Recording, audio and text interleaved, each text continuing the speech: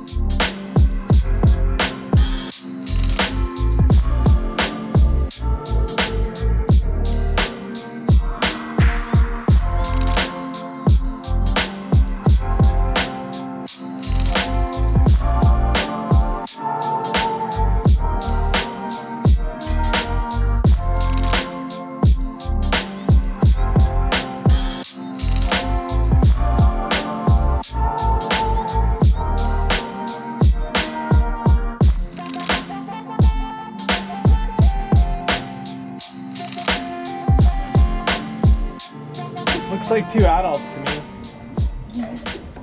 And uh, in terms of size, guys, they're 40 to 50 feet in length, 50 to 80,000 pounds. And they're a baleen whale.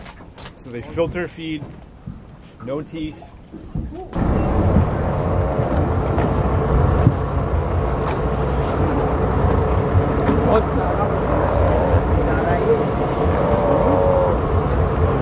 Oh, I love the guy's head just hanging out there.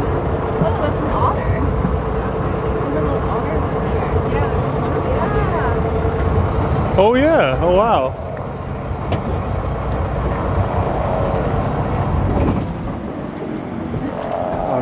So cute. Sorry.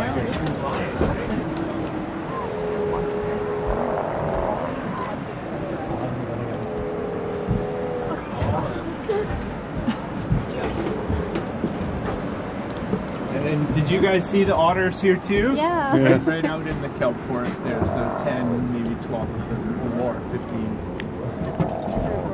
They are. Sounds like me in the morning.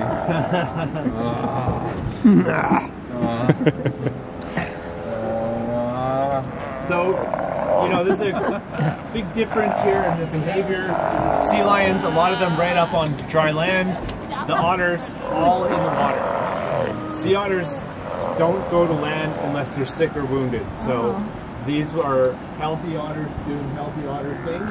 Uh, and yeah, that's normal. But they literally, um, for the most part, spend their whole entire life in the sea. In almost 20 years of doing tours like this out here, I've only seen one on the rocks once earlier this summer.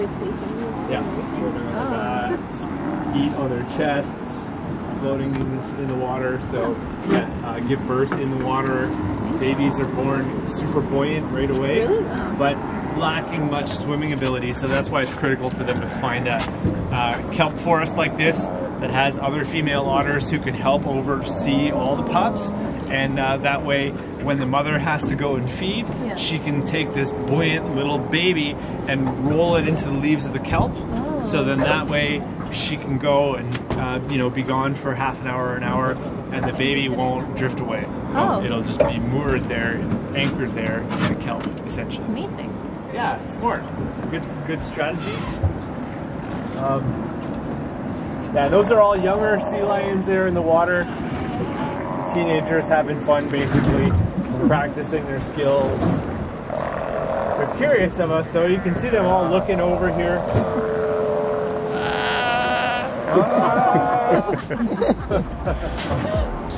have been one of the young ones.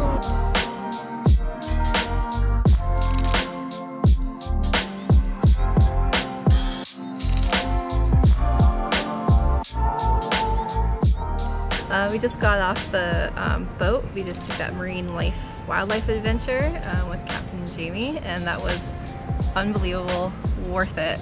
I just told Curtis like I felt like I got a marine biology lesson in like two hours, and we saw gray whales, sea otters, sea lions, eagles. Uh, what else did we see? Lots of other birds. No bears or wolves, but we saw the whale, so that was really really cool. Highly recommend taking that tour when you come here. Um, yeah, it was unbelievable and the perfect day. Like so calm on the water, thankfully. so we're just going back to the lodge and we're just gonna go and maybe catch a little bit of happy hour and then see what the rest of the day brings us.